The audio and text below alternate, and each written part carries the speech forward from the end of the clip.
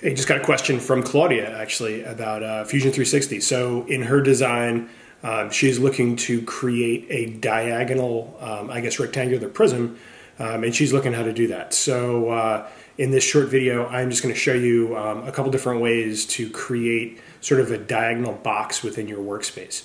Um, if you have any questions, just uh, leave them in the comments, and uh, and I will get to them. Have a great day. Okay, so the uh, first thing I'm going to do is save my work. Uh, so important. So uh, I am going to call this diagonal box.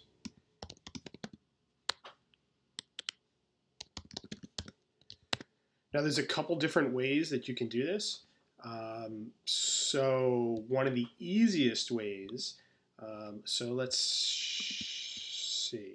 So if we, um, let's create a rectangular prism which is just a box that will act as sort of a um, like a base for our creation, just to give us a point of reference. So I'm just going to make just sort of a random sized flat box.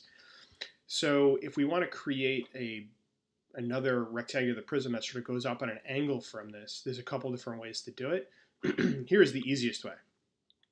If I build another rectangular prism on the surface of this, so say just like a thinner box, just like that, and I bring it up a certain amount, um, you have to not join it. So it needs to be a new body. So this is a critical piece right here, a new body. And I hit OK. So now this is just laying flat on there. I can go in and select that body and then right click it. And one of the options is move copy. So you can use hotkey M. And that opens up this sort of manipulator tool where I can then go in and rotate this into any angle that I want. Um, and so that is the easiest way to do this. Um, so that's just using primitive shapes. Now we can get rid of that. So if I wanted to do this um, in a slightly more complicated fashion, what I can do is I can use a construction plane at an angle and select the edge that I want to put it through and then tilt it to whatever angle I want it to be on. So if I want it, say, at a 25 degree angle, I can leave it just like that and hit OK.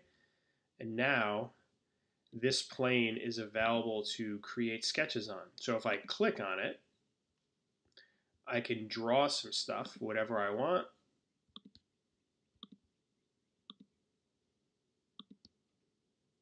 And if I have a face like that, so notice that's sort of like a trapezoid.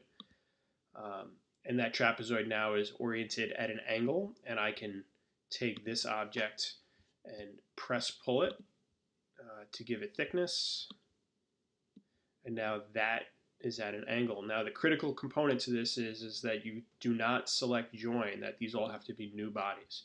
And so now I have a piece that is at an angle. Um, and again, save it right away. If you have any more questions, just let me know. Have a great day.